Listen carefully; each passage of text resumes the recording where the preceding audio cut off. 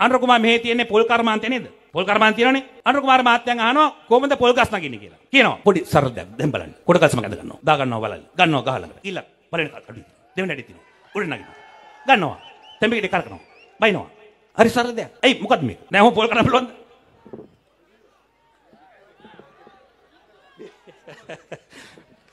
දැන් මේ මම පොල් ගස් නගින්න මේ මේ බරු ගහලා යනවා මේ දෙපැත්ත. අඩි දෙකකට නගින්න බෑ. ඕනම වැඩක් පුළුවන් පොල් ගස් නගින්න අමාරුයි. ඒ හින්දා සහෝදරනේ මෙතුමා කියනවා බිත්තර ගැන. කුකුල් ව්‍යාපාරය.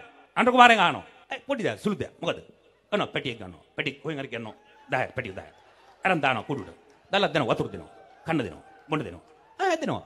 10 ලිපයි කුකුලේ දෙයක්. මොකද මේක? සරල දෙයක්. දැන් කුකුල වලම් බලන්න. මම දැම්ම කුකුලෝ 10 දෙනෙක් අනින් අල්ලි. ගිහිලා මුන්ට මොනවද ඇහි ආව ලෙඩක් මොකද්ද? ඇහැ වැහිලා. ඉතින් මං කියනවා ඒ මිනිස්සු වෙනවා සර් මූට මොකද බැක්ටීරියා ලෙඩක්ලු මට තේරෙන්නේ නැහැ මේක. මේක හරි අමාරුයි මේක කරන්න කුකුල පහක් ඇති කරගන්නත් අපිට බෑ. සහෝදරනි කටින් කුකුල ඇති කරන්න පුළුවන්. හැබැයි මේ ව්‍යාපාරිකෝ තමයි දන්නේ කොච්චර මේක අමාරුද කියලා. මම මේක මේ මේ කියද්දි මල පයින්නවනේ ජේප් එකේ උන්ට. මම මරනවා කියලා කියන්නෙත් නැහැ, බෝම්බ ගන්නවා කියලා කියන්නෙත් නැහැ. මේ මොනවද වෙඩි දිනවා කියන්නෙත් නැහැ අපේ හැමතුරේ. මේ කිව්වහම බුදුම විදිහට තරහ යන්නේ. ඒක අර හඳුන්නේ තීට තරහ ගිහලා මං කැෂියර් එකට දැම්මා කියලා. අපේ හැමතුරේ මමත් කැෂියර් එක වැඩ කරා ඇමරිකාවේ. මේවා තරහ යන දේවල් නෙමෙයි කියන්නේ. මම කළා එතුමාගෙන් එතුමා කිව්වා එතුමාගෙන් ඇහුවොත් ඔන්න අනුරු කුමාරගෙන් කොහොමද මාළු අල්ලන්නේ? මොකද එතුමා කියන්නේ? සරල දෙයක්. හරි පොඩි දෙයක්. මූණත් හැබැයි සීරියස් ආ.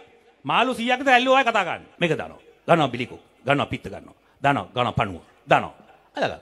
දත්තා. එළියට. මොකද මේක? සරල දෙයක්. නෑ රටේ මිනිසුන් තේරෙන්නේ හරි සරලයි කියලා නේද?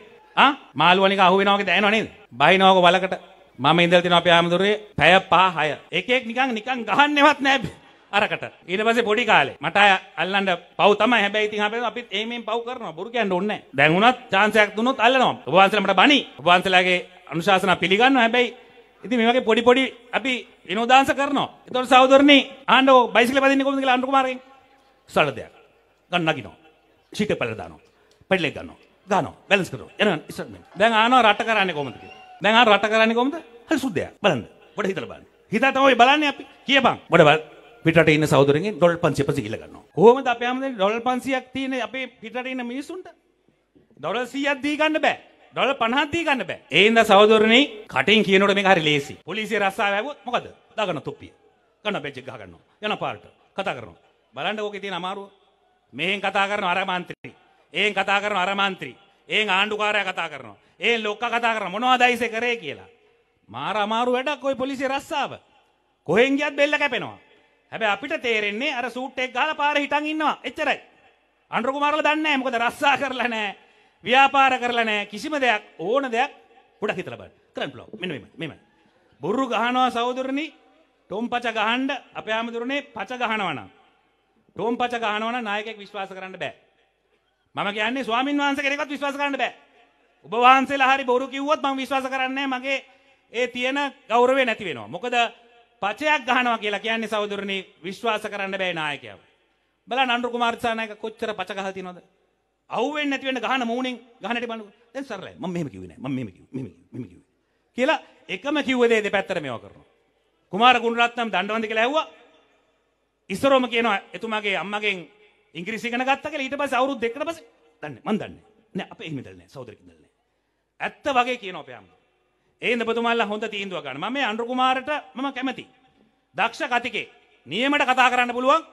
ඕන වෙලාවක අහුවෙන්නේ නැතුව එහාට මෙහාට හරවලා උත්තර දෙන්න පුළුවන්. ඒ දක්ෂතාවයට මම ගරු කරනවා. ඒ වගේ තමයි විමල් වීරවංශ කතා කරන්න දක්ෂයි. හොඳ කතිකයෝ. ඉඳ ඒගොල්ලන්ගේ මම කතා කරන්න ඒවා ඉගෙන ගන්නවා. බොරු කියන්න ඕනේ නැහැ දක්ෂයෙක්ගෙන් කතා කරන්න ඒගොල්ලන් ඔක්කොම දක්ෂයි. හැබැයි වැඩ කරන්න බෑ. ඒ හින්දා සහෝදරනි ඔබතුමන්ලා මේ වගේ වැඩ කරන්න බැරි පිරිසකට රැවටිලා අර ගෝඨාභයට අහු වුණා වගේ නැවත අහු වෙනවද කියන ඔබතුමන්ලා තීන්දුව ගන්න. මේ try කරන වෙලාවක් නෙමෙයි. ඕගලන් try කරන අන්තිම try එක මේක.